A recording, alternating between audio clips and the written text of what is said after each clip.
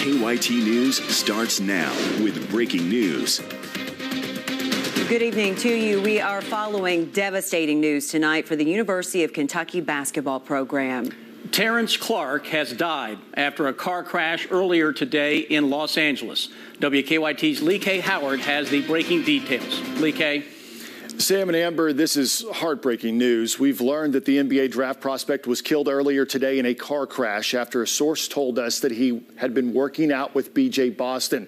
We've been working to learn what happened for the last couple of hours, and here's what Los Angeles police could tell us. A sergeant in the Valley Traffic Division told us the crash happened at 2:10 Pacific time, so 5:10 this evening on the East Coast. It happened on Winnetka Avenue at the intersection of Nordhoff Street. We have it pointed out right here on this map. It's in a neighborhood in the west central San Fernando Valley in Los Angeles. Police tell us 19 year old Clarke was driving at a high rate of speed when he ran a red light. They say that he hit another car turning left. Then Clarke went on to hit a pole and a block wall. Police say surveillance cameras on a nearby house captured the accident. That sergeant told us that Clarke was taken to Northridge Hospital where he was pronounced dead. Now, Clarke and Boston had both recently signed with the same agent, Clutch Sports. Last season, Clarke averaged 10 points and three rebounds during Kentucky's first seven games, including a career high 22 points and a loss to Georgia Tech. Clarke then missed 17 games with a foot injury before returning in the SEC tournament. Clarke was a Boston native, and tonight, Celtics head coach Brad Stevens reacted to the news after their game.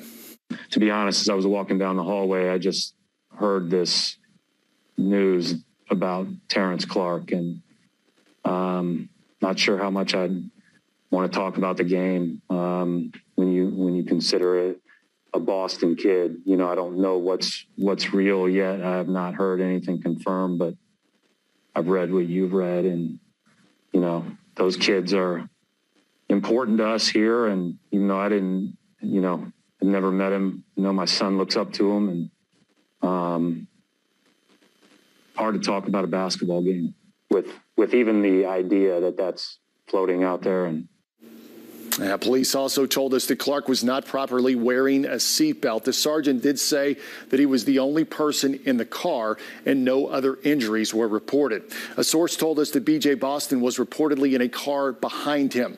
Of course, our condolences are pouring in and they're pouring in on social media. Earlier, we talked to legendary UK basketball player Jack Goose Givens, who is also on the UK network broadcast. And he told us that even though the broadcast team was limited in their contact with the players this season, he called this loss heartbreaking and tragic. Sam and Amber, back to you. Like you said, Lee K, more condolences are coming in tonight. This statement now just in late tonight from UK head coach John Calipari. In part, he says, quote, I am absolutely gutted and sick tonight. He went on to say, this is a life lost too soon. Calipari also said, quote, to hear we have lost him is just hard for all of us to comprehend right now. We are all in shock, end quote. Calipari said he's going to Los Angeles to be with Clarke's mother and brother to help.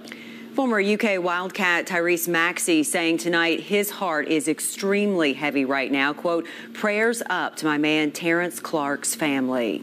And U of L head coach Chris Mack also sending condolences to the family of Terrence Clarke. In a tweet, Mack says he and his family are praying for Clarke's teammates, coaches, and the entire UK basketball community.